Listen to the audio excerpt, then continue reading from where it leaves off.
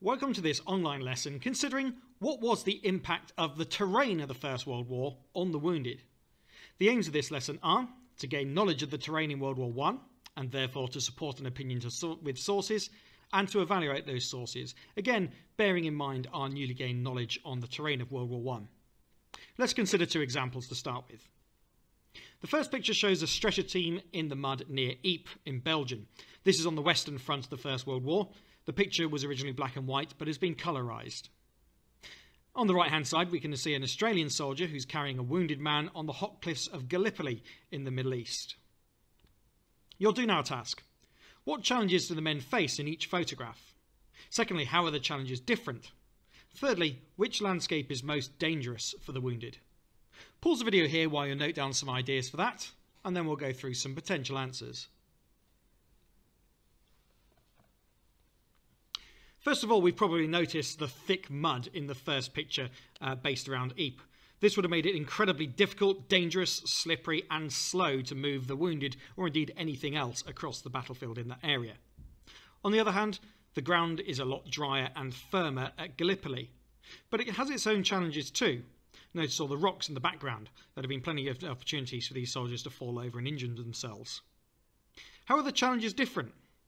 Well, one is going to be hot and arid and very thirst provoking, whereas the other one is going to be very cold, wet, and miserable. So neither of them are particularly nice environments. So which landscape is most dangerous for the wounded? Well, for the wounded, probably the situation where the soldiers were very slow. Time was often of the essence when it came to trying to treat these wounded soldiers, and so delays in getting bogged down in the mud could cost someone their life.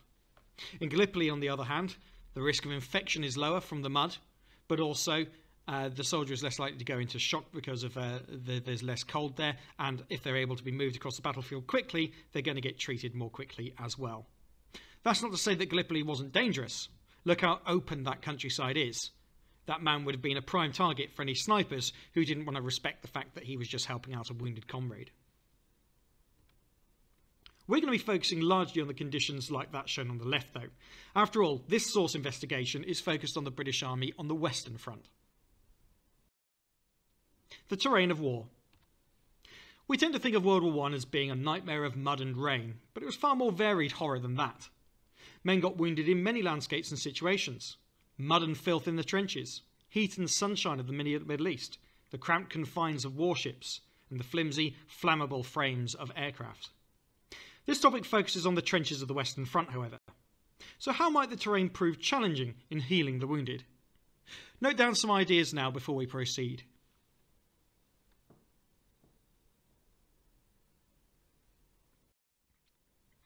These two photographs demonstrate and illustrate very well what we're talking about here a devastated landscape.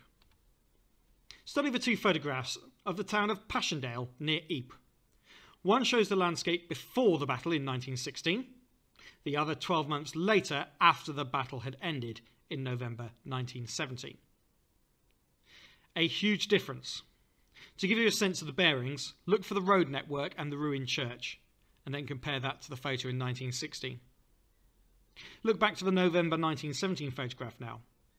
Every single white spot that you see in that photograph, many of them overlapping, is a water-filled shell hole. So what weapons would have caused this devastation? And what challenges would medical services face in this situation? And try and be specific about this. Be specific about the problems of infrastructure and transport, for example. Pause the video here.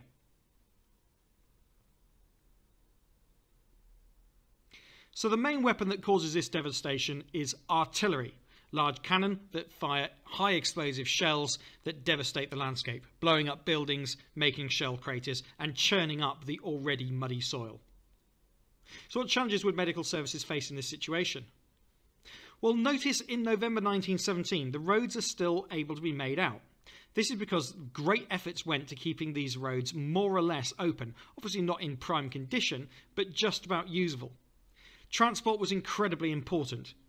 Any delays in transporting the wounded to where they needed to be treated could be fatal. Even a light railway was laid up to the uh, town of, uh, of Passchendaele in order to take ammunition in and take the wounded out. but anything that might devastate those supply routes could be fatal for the wounded soldiers. We're now going to consider the differences between usefulness and reliability. In your exam, you will be asked about usefulness, and it's important not to mix this up with reliability. Historians always use evidence to find out about the past, but some evidence is more useful than others. In order to gauge usefulness, you need to consider what you're using the source for. So here's an example. How useful is this source for a historian studying conditions in the trenches in World War I? Here we've got two British soldiers in a flooded trench near Ypres. The photo was taken from 1917. First, check the caption and provenance. Then think, is this R-E-A-L, real? Let's check the caption first of all. Does this photograph appear to be relevant? What to? Is it relevant to studying conditions in the trenches in World War One? So it says two British soldiers in a flooded trench near Ypres. And it's taken in 1917. 1917 is in World War One, and it is of a trench. Therefore, the information is relevant. Is it enough? Does this source contain enough information to help you? Well, it can include quite a few things. We can see the uniforms that the soldiers are wearing. We can see the poor condition of the trench. We can see the fact that they are flooded almost up to their knees. So it gives some indication about the conditions of the trenches. That said, though, we don't know how typical this is. Surely trenches weren't always like this. This one looks like it's a flooded trench or possibly even a wrecked trench as well, so it may not be entirely typical. Let's consider the author. Do you know who made it? Could they be biased or one-sided? Why was it made? Well, we don't know who took this photograph, but we can probably infer that it was taken by a fellow soldier, given the fact that the two men look pretty comfortable uh, just looking at the uh, photographer. To give you a bit of extra, extra knowledge here, Soldiers weren't really allowed to take photographs in the trenches for security reasons. Obviously, many did, and the authorities could turn a bit, a bit of a blind eye to this because they had bigger problems to complain about. But we can infer that this was taken by a soldier. Could they be biased? Well, possibly, but the only way that they can be biased is by framing the photograph to demonstrate to make a point. Possibly they're trying to make a point here that the conditions of the trenches were awful, so this could be representative of that, or perhaps they've posed the photograph to exaggerate how awful it was.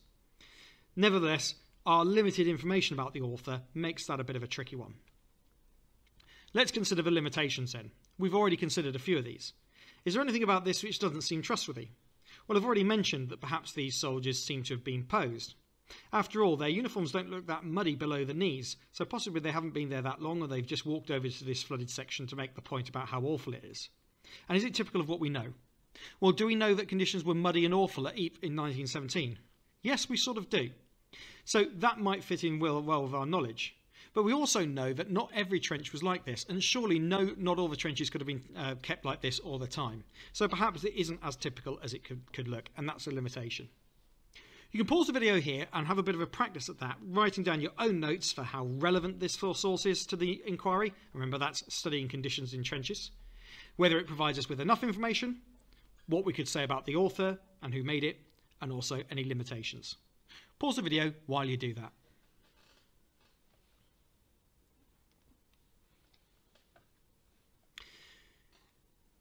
Okay, have you recorded your thoughts under those headings? Now you've done that, answer the question. How useful is this source for a historian studying conditions in trenches in World War I? Remember, you will need to come to a judgment here. Say what is useful about it, say what isn't useful about it, and then decide how useful it is.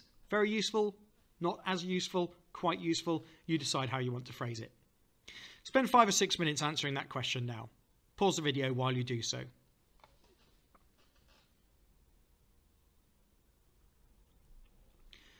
Okay, it's worth bearing in mind that this is very similar to one of the questions you're going to have to answer in paper one, and indeed one of the uh, questions that you'd have to answer in paper three if you're doing the Pearson Edexcel qualification. First of all, the similarity is that you will be asked a question about how useful a source is. However, you'll be asked to have two sources and consider them both. You'd usually be worth 8 marks. You'd spend about 12 minutes on this. We've spent a little bit shorter on this one here because we're only studying the one source, but it's still valuable skills practice for you. Now we're going to have a look at two sources. Now this is a proper exam style question, an 8 mark one. How useful are sources A and B for an inquiry into the impact of the nature of the fighting on caring for the wounded? Explain your answer using sources A and B in their historical context. Right, that's very wordy, but here's what it basically means. You're deciding how useful these sources are. In other words, do they provide you with relevant enough information that you can trust? And for this inquiry, the impact on the nature of the fighting on caring for the wounded. So, how did the nature of the, the fighting and the circumstances in World War One impact on the wounded? That's what you're trying to find out. Do these sources give you relevant enough information? Then explain your answer using sources A and B in the historical context means use your knowledge of the fighting in World War One, the terrain, the conditions, the weapons, and so forth, in order to understand what these uh, sources are talking about. That will be your contextual knowledge, and you can get extra marks for that. And when I say extra marks, it means that you'll be able to pick up marks within the exam for relating these sources to what you already know. For this question, you need to think about the information in the sources and how much you can trust the information. Study each source now and assess are they real?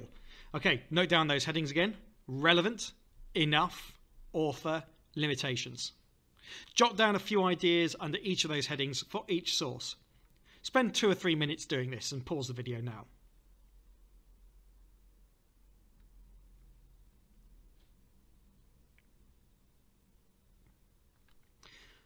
Okay, hopefully you're able now to work out how useful these sources are.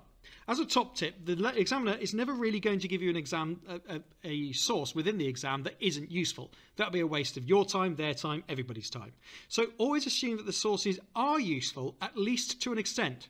However, some sources will be more useful than others, and you can comment upon this. For example, source A is useful, an example from the source is, this source tells me, I can trust this source, and you can comment on things like the author, where it's come from, the purpose behind it, and so forth. Then do the same for source B, and then come to an overall judgment as to how useful these sources are. Pause the video now while you come up with your answer. You'll want to spend a maximum of 12 minutes doing this, unless you know that you are entitled to extra time within the exam. Then we'll have a look at an example answer. Let's have a look at our example answer then. I'm going to kick off with a paragraph on source A. From the diary of Sapper J. Davy, Royal Engineers, 10th of May 1915. Sappers are engineers within the army. Not many hours went by before we were shelled out of this position as I had to come farther back. I don't know how we have fared in the firing line. We sent out at night and put some wire entanglements in front of the trenches. The sights were too awful for words. In our advance trench, when the flares went up, we could see how things really were. Numbers of poor fellows lay in the bottom of the trench, the wounded amongst the dead crying for water, and the stretcher bearers. Some have been waiting a day and a half to be brought in. So let's consider the nature of the inquiry again. The impact of the nature of the fighting on caring for the wounded. How useful is this source? In some ways, source A is very useful for the inquiry. The source indicates that the conditions in the trenches and the difficulty of moving the wounded through them had a negative impact on the caring for the wounded. The source says that men had been waiting a day and a half to be brought in. This is useful for the inquiry as it shows a specific problem caused by the nature of trench warfare and that men in the front lines might not be able to be transported rearwards. Okay, notice here that I've made a point about the inquiry, I've given an example and in fact a quote from the source, but explained how that shows a problem. The provenance also makes this source useful. Remember, the provenance is the background information to the source. Sapper Davy was an eyewitness to these events, and diaries are often private and personal recollections, and so the author is likely to be both accurate and truthful in the account. From my own knowledge, I know that the trench systems were cramped, confusing, and hard to move through, and the wounded had to travel at least 200 metres to the rear to reach the dressing stations. All right, in this section here, I've referred to the provenance, in this case the author and the origin, and his access to information. And I've compared this to things that I know from my own knowledge. All of this will count towards good marks in this style of question. However, there are some limitations.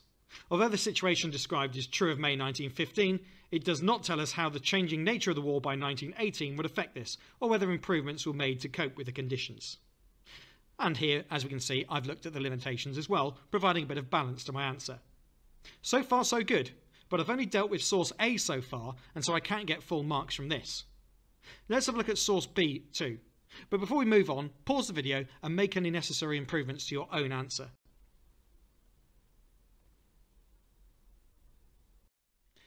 I'm now going to have a look at source B. By the way, it's perfectly acceptable for you to deal with sources A and B together within your paragraphs, but for clarity's sake, I'm going to do them separately. Source B, from the letters of Reverend John Walker, an army chaplain, uh, a chaplain is like a vicar, minister of religion who works for the army, who worked at a casualty clearing station at the Battle of the Somme in 1916. You may already have some knowledge of the Battle of the Somme. 1st of July. We have 1,500 in, and still they come. 300 to 400 officers. It is a sight. Chaps with fearful wounds lying in agony, many so patient, some make a, no a noise. One goes to a stretcher, lays one's hand to the forehead, cold. Strike a match, he is dead. 2nd of July. Saddest place of all is the moribund ward. Low, large tents laced together, packed with dying officers and men. Here they lie, giving up, given up as hopeless. Of course, they do not know it. 3rd of July. Now I know something of the horrors of war. The staff is redoubled, but what of that? Imagine 1,000 wounded each day. The surgeons are beginning to get sleep because after working night and day, they realise that they might have to be at this for some months. In some ways, source B is also useful for the inquiry. The source shows the effect of World War I weaponry and the huge casualty figures involved when it says that we have 1,500 and they still come. Fearful wounds.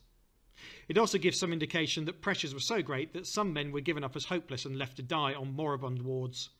So could, um, help could be prioritised to those most likely to survive. Finally, the source gives an indication of how long ongoing battles uh, of World War I meant uh, medical staff knew they might have to be uh, at this for months. Notice I've used specific examples and quotes from the source here to illustrate the points that I'm making. Let's consider the provenance on this source too. The fact that Reverend Walker was an eyewitness is also useful. An army chaplain would have experience of working at medical sites such as this, even though they weren't medical staff. Additionally, from my own knowledge, I know that the Battle of the Somme lasted between July and September 1916, and on the first day there were over 60,000 casualties, which supports the information in the source. Lastly, the limitations. However, there are limitations. For example, we do not know how typical this was of other battles. In addition, a chaplain was not a medical officer and would possibly have less experience with treating the wounded than he would praying with the dying, distorting his view. Okay, so again, just like last time, I've given some specific examples and related it to the inquiry. I've considered the importance of the provenance and related it to my own knowledge. And lastly, I've considered some limitations. So surely we're done now. Well, not quite. But pause the video here and make some improvements to your handling of source B.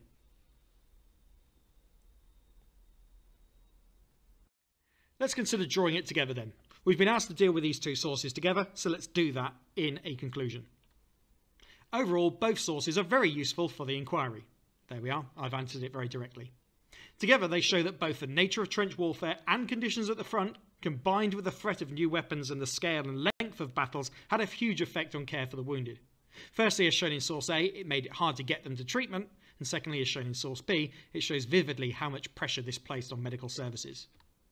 As both sources are eyewitness accounts from the mid years of the war, it is likely that the authors had a detailed knowledge of these conditions, making them useful, even if the conditions described may not be typical in every respect. Okay, pause the video once more and make some improvements to your conclusion, or add one if you forgot to do one.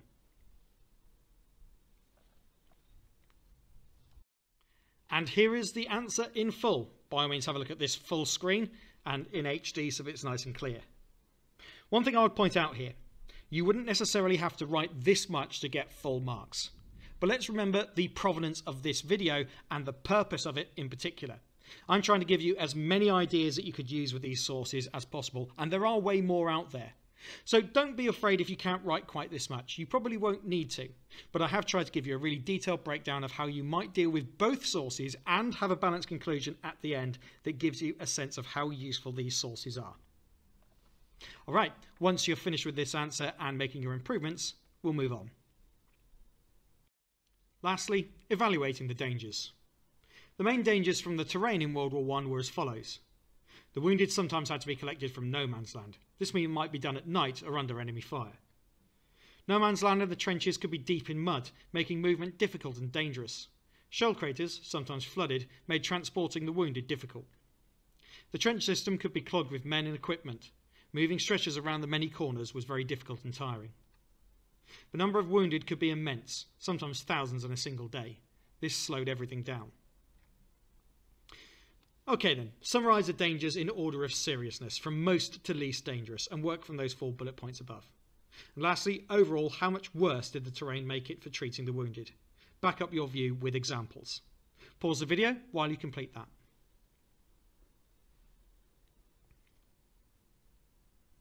Hopefully you've been able to prioritise these things. I'm not going to say that there's one particular right answer to this, but hopefully you can actually back it up and decide for yourself. But did the terrain make it worse? Undoubtedly it did. Trench warfare was bad at the best of times, but when you combine that with the often muddy, cramped, and slow conditions that you got in World War I, it made matters only harder. Truly, this was a hellish war, and industrialised warfare created the scale of casualties that made it even worse too. Hopefully, that lesson has been useful to you. If it has, please like the video and subscribe to the channel for more of the same. All the best, and thanks for watching.